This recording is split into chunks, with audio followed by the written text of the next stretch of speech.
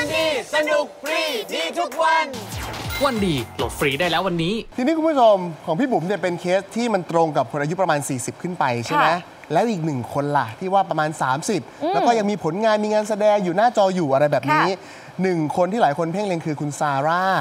คุณซาร่าเนี่ยถามว่าทำไมถึงเป็นคนที่ถูกเพ่งเล็งเพราะว่าคุณซาร่านลินโฮเลอร์เนี่ย เขามีคนตั้งข้อสังเกตว่าภาพก่อนหน้านี้ในรายการรายการหนึ่งเนี่ยเอ๊ะดูมีหน้าท้องขึ้นมานะ แล้วก็ดูอวบๆขึ้นมา แต่แล้วความชัดเจนมันค่อยๆ เพิ่มขึ้นครับ เมื่อวานนี้ 20 พฤศจิกายนที่ผ่านมาเนี่ยคุณซาร่าเขาโพสต์ IG เป็นคลิปนะฮะ เป็นสตอรี่เนี่ยปะบอกว่าเอ่อคุยกับเอ่อแฟนหนุ่มของเขาแล้วบอกว่า เอ๊ะเราควรจะบอกคนดูดีไหมนะ แฟนก็ถามว่าบอกอะไรอะซาร่าบอกบอกเรื่องรีวิวไงอ่ารีวิวนี่คืออะไรอะ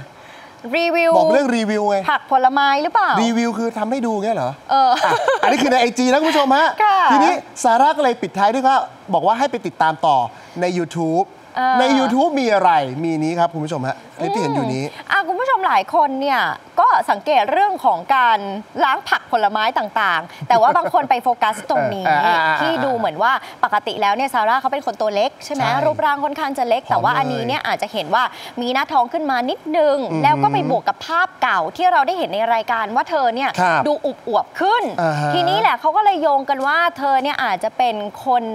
ในข่าวลือที่บอกว่า 30 บวกบวกๆตั้งครรภ์หรือเปล่า ซึ่งอันเนี้ยเป็นคลิปวิดีโอที่เขาเนี่ย มาพร้อมแคปชั่นว่า veg prep review อ่าฮะ แต่พี่พัดดูแฮชแท็กแฮชแท็ก YouTube แฮชแท็ก Sarah Baby ตรงนี้แหละ เออ ตรงนี้แหละคุณผู้ชมฮะที่มันประกอบกับสิ่งที่หลายคนตั้งข้อสังเกต คือประหนึ่งว่าเราไม่ได้จับผิดอย่างเดียว แต่คุณค่ะ ซาร่าเองก็อาจจะพยายามบอกบอกข้อความบางอย่างมาด้วย อาจจะแบบตรงว่าซาให้ร่าสัญเบญาณนิดบี้นึง ซาร่าเบบี้แปลว่า เด็กของซาร่าอย่างนี้หรือเปล่า เด็กน้อยของซาร่าหรือเปล่าเอออะ อันนี้แหละคือข้อความที่ติดแฮชแท็กไว้ แต่แน่นอนเราเองนะฮะ รอให้คุณซาร่าหรือแฟนก็ตามยืนยันอีกครั้งหนึ่งนะฮะ ค่ะนี่คือเป็นการตั้งข้อสังเกตจากหลาย ๆ ท่านเท่านั้นเองแล้วก็ดังอ่ามาจากสิ่งที่คุณซาร่าเนี่ยนำเสนอออกมาให้เราได้เห็นกัน ใช่นะโอ้ยังไงก็แล้วแต่